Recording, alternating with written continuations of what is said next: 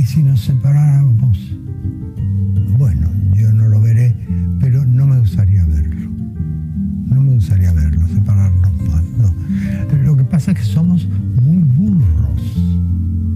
No somos, eh, hay muy poca gente muy inteligente eh, como para adobar toda esta variedad de platos que ofrece la península